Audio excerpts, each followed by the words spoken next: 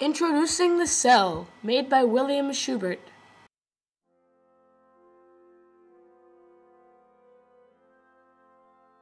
The animal cell shown here is a replica of what the cell would actually look like in real life.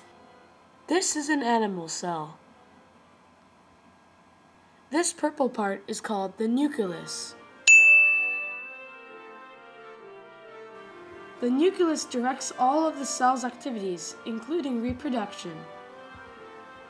This is the Golgi body.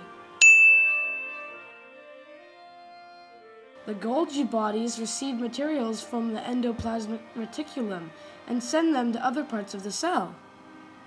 This is the vacuole. Some animal cells have vacuoles that store food, water, waste, and other materials. This is the cell membrane. The cell membrane protects the cell and regulates what substances enter and leave the cell. These are the lysosomes.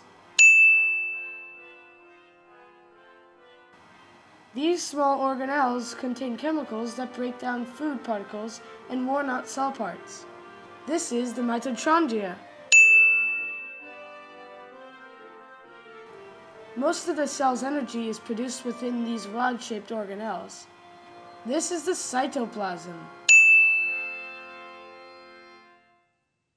The cytoplasm includes a gel-like fluid in which many different organelles are found. These are the ribosomes.